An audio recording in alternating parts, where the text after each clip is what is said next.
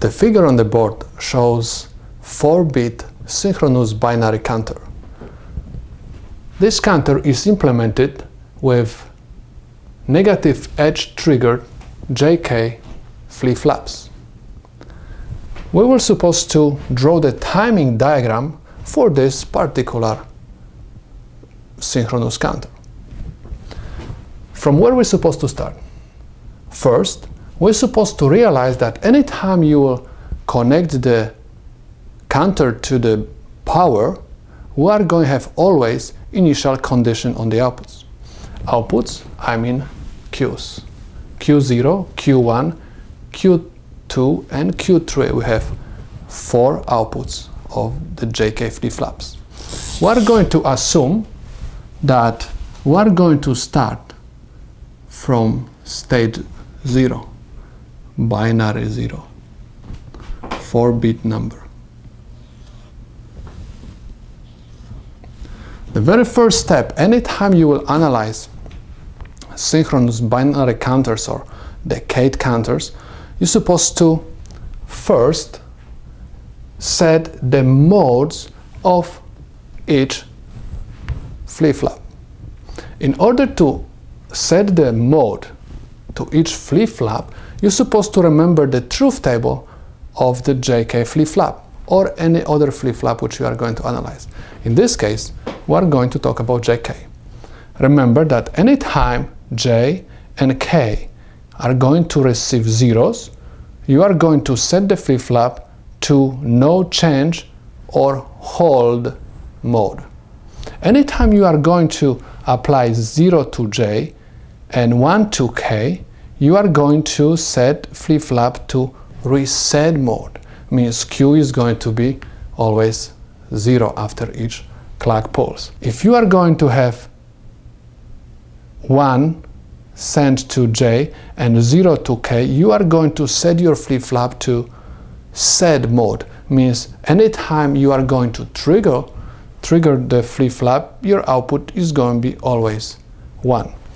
If you are going to apply 1 to J and 1 to K input, you are going to set your flip-flop to the toggle mode. It means that anytime flip-flop is going to receive the clock pulse, is going to change its state on the output from 0 to 1 or from 1 to 0. Toggle means constantly changing. Let's take a look at our counter. First flip-flop, flip-flop 0 is connected by J and K inputs to high. It means that J is receiving high and K is receiving high. We said that anytime J and K, both of them are highs, we are going to set this particular flip-flop to the toggle mode. So I'm going to write T, and this T stands for the toggle mode. This flip-flop is going to toggle when clock pulse is going to come. Next, Q0 has 0 because we assume that our uh, initial state is 0. This 0 will go to these inputs. Both of them are what? 0 and 0. Anytime JK flip-flop is going to receive 0 and 0 to JK inputs, this flip-flop is going to be set to the hold mode. I'm going to just put letter H, which is going to represent hold mode, it means no change. Next, Q0 and Q1, Q0 and Q1, both of them are connected to the AND gate. This AND gate is going to receive 0 from Q0 and is going to receive 0 from Q1. Anytime AND gate is receiving two zeros, output is going to be also zero. This zero is going to go to JK inputs. Again, I'm going to have zero over here and zero over here. We said already that anytime J and K are going to receive zeros, the flip-flop is going to be set to the hold mode.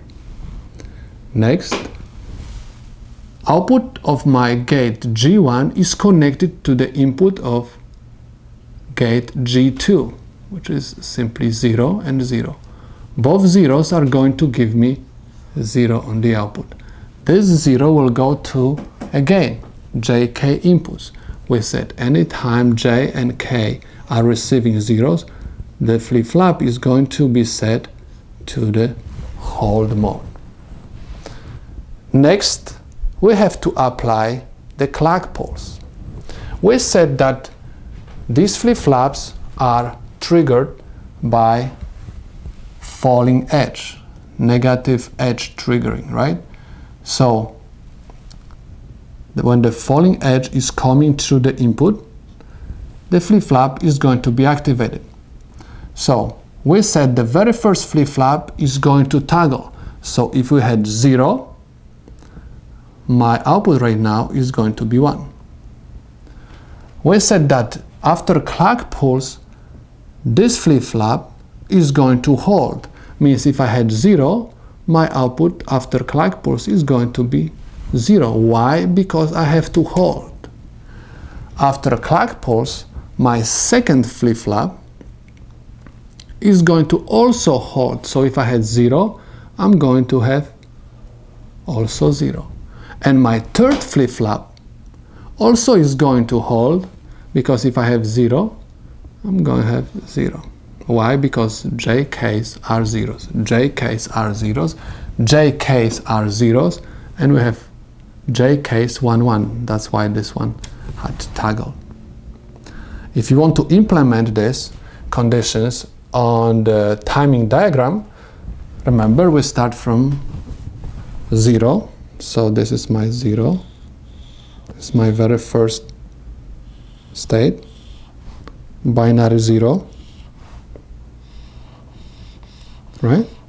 And my next state is nothing else just binary 1. Remember that this flip-flop and particularly this Q output is going to represent my least significant bit where the very last Q is going to represent my most significant bit. So after clock pulse we said that my Q0 is going to be switched to 1 when rest of my flip-flops are going to remain the same states.